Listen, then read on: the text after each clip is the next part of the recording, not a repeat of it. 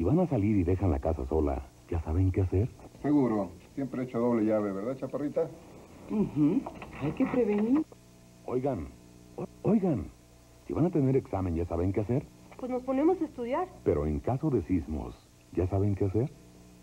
Sismos, saber qué hacer. Estas son medidas para ayudar a proteger a ustedes y a los suyos. Es mejor saberlas y no necesitarlas. ¿Qué necesitarlas y no saber? Solicítelo. Sismos, saber qué hacer.